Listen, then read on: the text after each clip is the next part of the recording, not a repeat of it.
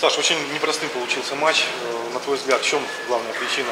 Это так здорово сыграл Кузбасс, либо что-то не заладилось сегодня в игре у нашей команды? Ну, Кузбасс хорошо играл.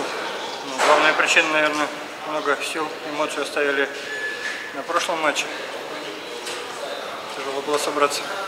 Э, На твой взгляд, какой ключевой был момент сегодняшнего матча? Ключевой, я даже не заметил, вроде всегда вели так пару мячей, там, а ну в один, да, там был разница. Вот в какой момент появилась уверенность в том, что сегодня все закончится благополучно? Потому что Кузбасс очень сильно так отжимал, да, и не складывал оружие. У меня сначала была уверенность, что все закончится благополучно. Ну а так, даже не могу сказать, где он был переломный момент. Ну, физически было сегодня тяжеловато, или в большей степени все-таки эмоций не хватало?